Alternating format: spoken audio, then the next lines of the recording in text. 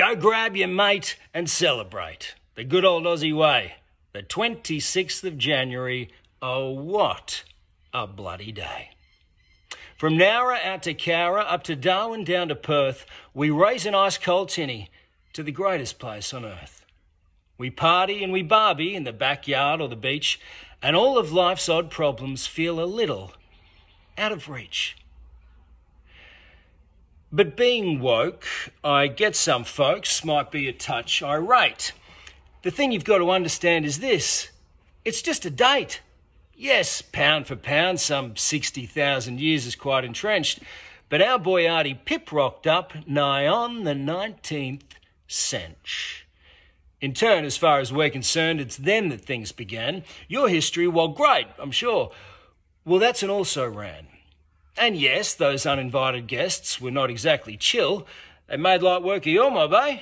Took out half a mil. We dead set get the bloodshed that arrived with that first fleet. But that last week in January, the weather can't be beat. What's that you say? There's more play before we're done recapping. Oh, yes, I guess we've also dabbled in some light kidnapping. I can't deny we thought we'd try to breed out all that black. In truth, it didn't work too well, but geez, we had a crack. I'm appealing to your feelings about the whole assimilation.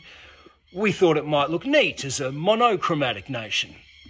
We've erred, but unperturbed, we'd really like to make amends. Because come on, what's a smidgen of eugenics between friends? And after all, we took the fall and ultimately patched it when Ruddy took it on the chin and buried that old hatchet. Prior to Kevin, in 67, we got hip to the beat and counted you as citizens. That must have been a treat.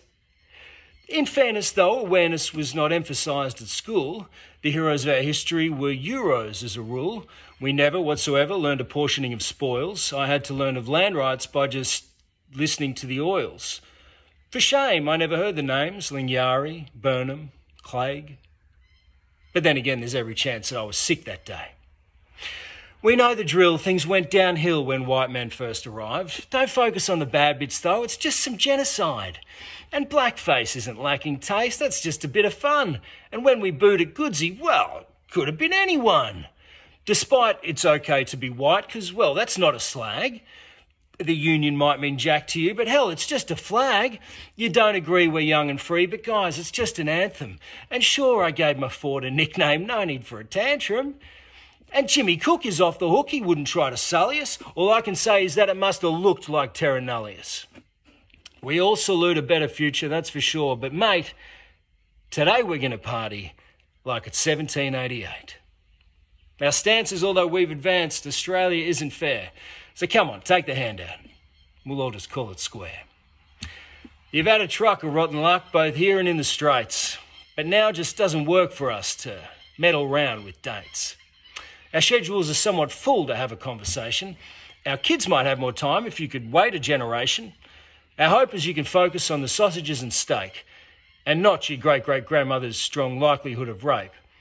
It's painful and a stain, and though we'd love to lend a hand, the kids go back to school next month, and well, you understand.